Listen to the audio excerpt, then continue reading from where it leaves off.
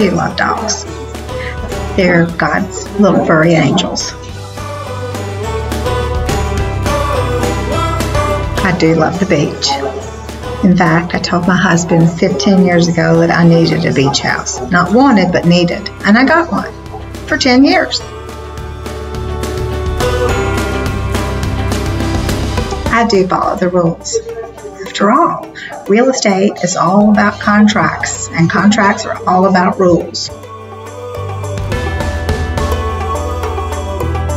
I do love a beautiful kitchen, and it's kind of ironic because I don't really like to cook that much. I do work hard. Real estate is a hard business. It's fun, but it's hard. Huge klutz.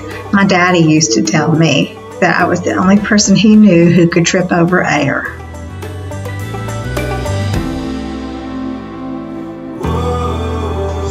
I love my family with everything I have. That being said, if anyone talks smack about them, I'll handle it.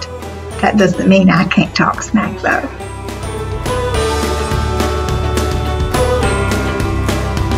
One thing I've learned with age is that it is okay to ask questions.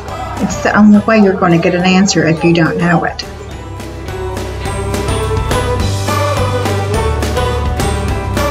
I love my job.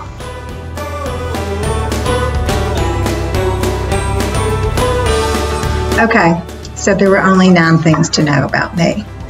Here's number 10. I can't wait to go to work for you.